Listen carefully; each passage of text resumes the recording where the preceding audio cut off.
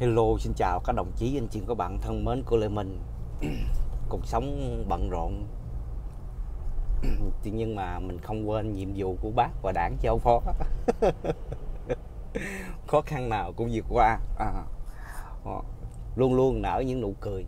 Cuộc sống à, để cho đời bất khổ.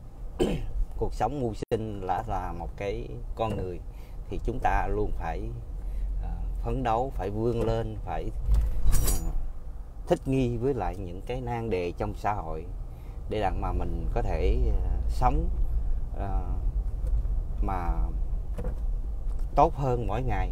Chứ không phải nhìn thấy những cái nan đề của xã hội ở Việt Nam là mình quay ra mình xuyên tạc chống phá Việt Nam. Các bạn biết cái xứ Mỹ nó nó muôn vàng những cái nan đề xã hội mà tại vì cái cái dân mà họ dân trí họ cao đó họ chấp nhận các bạn. Còn ở Việt Nam thì đời sống xã hội Việt Nam các bạn thấy người dân Việt Nam mình chưa có thích nghi được với lại cái dân trí đây. À, tôi muốn nói cái dân trí đây không phải là nói vấn đề trình độ kiến thức nha các bạn. Dân trí đây là sự ý thức và cái sự hiểu biết trong vấn đề mà cộng đồng xã hội. À, cho nên ở Việt Nam các bạn thấy những cái vấn đề mà người dân họ hay, họ dễ bức xúc lắm. Tôi lên mạng vào những cái trang Facebook mà của một số các bạn lập ra đó, tôi vào nhiều khi tôi theo dõi dân mình vô. Đụng cái là là chửi ông chính phủ, tơi bời ba lá đụng cái là chửi.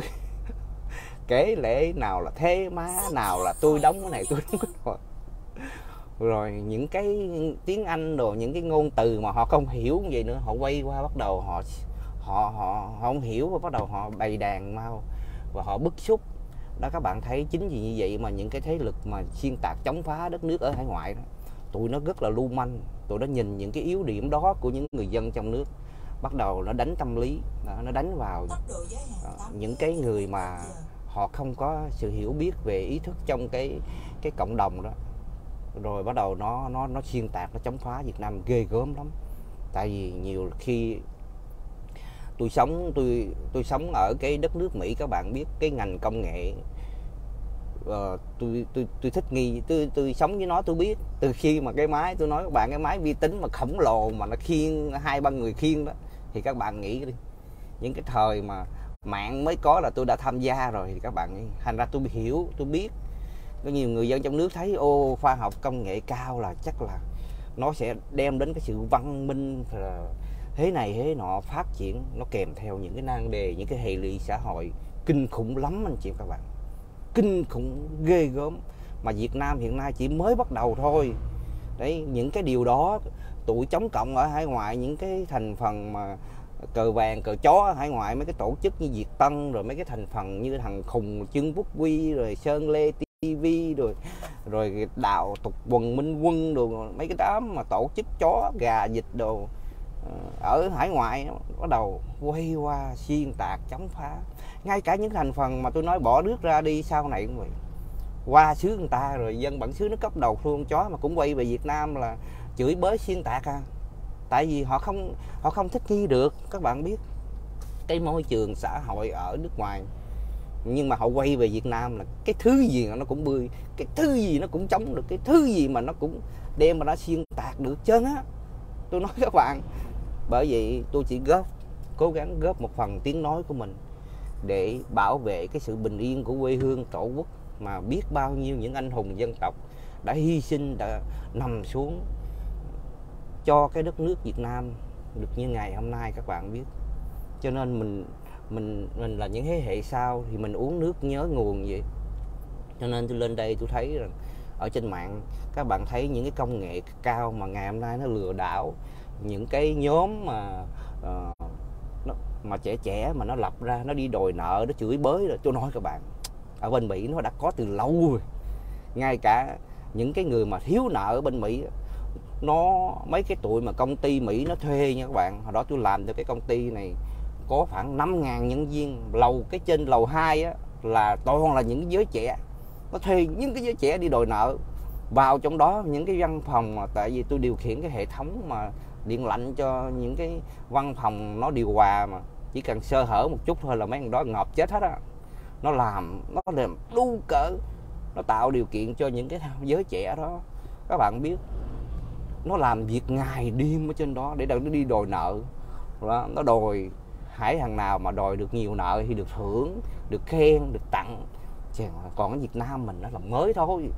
Bởi vì ở ở Mỹ nó ghê lắm có thuê những cái giới trẻ mà nếu trẻ sao nó háo thắng nó vô ha, các bạn biết những cái văn phòng ở lầu 2 ha, nó làm những cái chỗ chơi game, những cái chỗ, những đứa đó khi nó làm việc mệt mệt nhọc cái nó ra đó, nó thư giãn.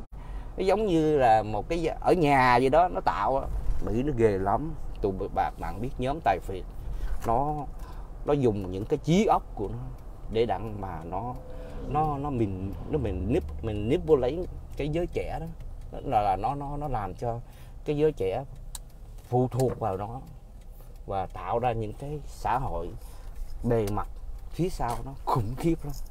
Chứ đừng nghĩ là cái công nghệ các bạn nghĩ là công nghệ cao công nghệ 4.0 5.0 đồ là là ô là văn minh là phồn thịnh là thế này thế nọ. Truyền ơi nó kèm theo ghê gớm lắm. Những cái mà về lừa đảo ở bên Mỹ. Hồi tôi mới tới gì nó lừa đảo ghê lắm. Hồi đó mình mới tới mình cũng tưởng đâu là à, thấy nó hay, nó nó làm, nó diễn thiết nó truyền trình được nó làm mình mê theo nó các bạn mà khi mà dướng vô nó rồi hả, bị lệ thuộc nó rồi hả, nó móc nó móc mình, nó móc cái lưỡi mình rồi bắt đầu là nó nó xây mình như con dế. Ghê lắm các bạn ơi. Bởi tôi sống với thằng mỹ. Tôi biết khi lên mạng rồi tôi vào mấy diễn đàn số tôi tranh luận với một số người. Cũng rất là vui tại con tánh của tôi là thích tranh luận. Mình tranh luận để đặng mình giúp những người khác họ họ hiểu ra được cái cái cái sự thật của cuộc sống của xã hội. Ngày hôm nay các bạn thấy à, thì cuộc sống chứ không phải như các bạn nghĩ đâu. Ở cái cái xã hội Việt Nam mình hiện nay thì chỉ mới bắt đầu thôi gần đây các tôi thấy ở trên mạng rồi, những cái người dân của mình, họ không hiểu, cho nên họ bức xúc về cái mô hình xã hội. Họ nghĩ rằng là một cái đất nước phát triển về công nghiệp, khoa học hiện đại là cái gì nó cũng hoàn hảo no. Tôi nói chuyện các bạn, không có cái, không có cái cái cái perfection nó không có các bạn các bạn thấy người ta người ta đi tìm cái sự hoàn hảo thôi chứ không có không có ai mà hoàn hảo được.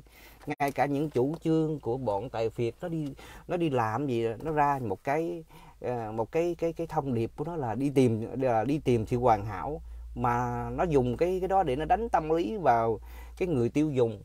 Nhưng mà nhưng mà nó quá giờ nó hoàn hảo đâu. Nó xạo chá tủ ờ, thứ hãy nó hư thì nó sửa. À, nó sẽ chị thôi. À, đồ của nó, cái sản xuất rồi nó nói nó đồ hoàn hảo. Nhưng mà thật sự nó cũng đủ thứ hết trơn à. Cho nên cho nên uh, cái sự mà hoàn hảo các bạn đi tìm không có đâu lúc lúc không có đừng nghe lời mấy thằng chống cộng hải ngoại mấy cái tổ chức mafia chống cộng hải ngoại toàn là mấy thằng mà đi chống kiếm cơm kiếm gạo thôi. Chứ tụi nó mà yêu nước thương dân con mẹ gì cái thằng mắc dịch trương quốc huy tôi hay đó. Tôi nghe tôi chỉ lướt qua tôi thấy. Nó khóc lóc, nó nói gì quê hương đó. bà, mẹ, nó đó là cái thằng kia đi kiếm cơm, đi câu view, câu like thôi. Các bạn thấy tổ chức chống cộng mấy chục năm này ngay cả cái cái thằng, cái ông mà cha đẻ của của tụi Việt Tân rồi, các bạn thấy. Nó nó nó nó nó đẻ ra cái thằng Việt Tân đó, là Hoàng Cơ Minh đó. Cũng lừa đảo, giết người. Rồi những cái tổ chức của tụi nó toàn là lừa đảo mà. Như cái thằng ly xà phạm, các bạn thấy rồi những cái tổ chức ở trên mạng cũng vậy nữa.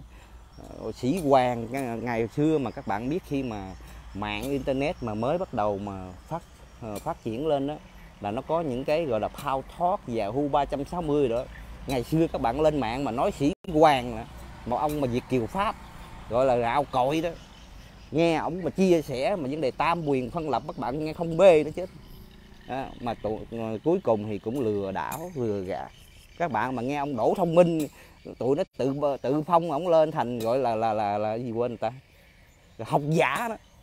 Mà có bằng cấp có mẹ gì đâu. Toàn là chế, người của chế độ cũ rồi thân tàn ma dại. Học hành thì không đến nơi đến chốn. Rồi cũng lừa đảo rồi cũng chẳng ra con mẹ gì hết.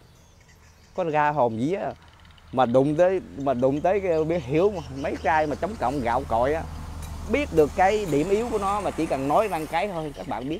Nó nó lộ vẻ là cái, nó bộc lộ cái thú tính của tụi nó. Là con người của nó nó dơ bẩn bẩn hiểu một cách khủng khiếp. Cho nên, mình cũng tranh thủ chia sẻ với anh chị các bạn về vấn đề mà nan đề của xã hội. Thì đây thì công trình của mình làm gần 4 năm tháng nay mình cũng rất là tranh thủ. À, để có được cái cơ sở mình cuộc sống mưu sinh ở quê nhà từng bước một à, mình sẽ à, bằng đôi tay ta ta sẽ dựng nên cái cuộc sống của mình. Chứ không phải ngồi đó à, ra kia đổ được lít xăng đóng được chút thế à, bắt đầu uống ly cà phê vô mấy siêu thị lớn luôn bắt đầu lên mạng bắt đầu bắt đầu à, chửi bới xuyên tạc chống phá quê hương. Các bạn thấy chẳng chẳng chẳng có có cái hệ thống gì cả.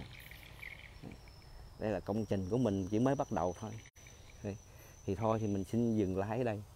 Thì chúc anh chị các bạn ở quê nhà cũng như những bà con kiều bào có tấm lòng với quê hương uh, hướng về tổ quốc cùng nhau xây dựng quê hương đất nước Việt Nam ngày càng một phú cường và thịnh vượng mình xin chào anh chị các bạn trong diễn đàn nha.